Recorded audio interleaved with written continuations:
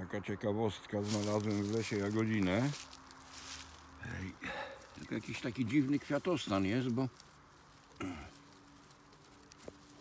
Bo pierwszy raz widzę, żeby jagody miały tyle kwiatków w jednym miejscu.